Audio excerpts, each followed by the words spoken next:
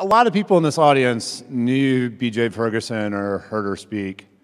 She passed away last summer um, and was you know, very involved in this organization, both as an allergist and rhinologist at the University of Pittsburgh, um, and very much a, a, pioneer in the field, um, very smart physician scientist, um, very much cared about this organization. Um, and you know, she was very entertaining on panels. She was always a little bit controversial, but knew her facts, and um, and very dear to many people.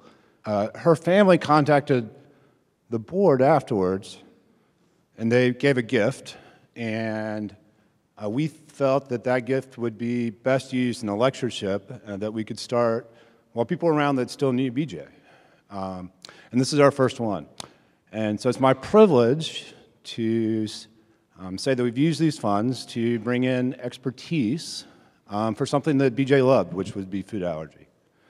Um, Amal Assa'ad, Dr. Assa'ad, is here. She's from Cincinnati's Children's, where they have a huge allergy immunology group.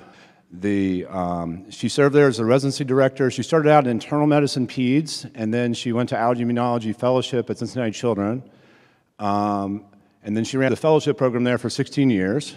Um, and she is a national expert on food allergy. And it's our privilege to have her. Please welcome Dr. Assa'ad. Of course, in allergy practice, uh, we see other allergies other than food, but I have this graph only from when I started in 1997 as an attending there up till 2005, and then I stopped tracking it.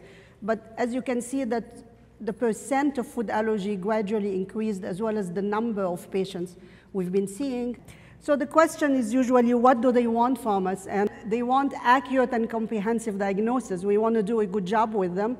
They want knowledge about every aspect of the disorder. They want novel treatments. And they also want prevention for future siblings. So if a family has a child uh, with food allergy or a parent has food allergy, they want to make sure that the child or the sibling does not have the same disorder.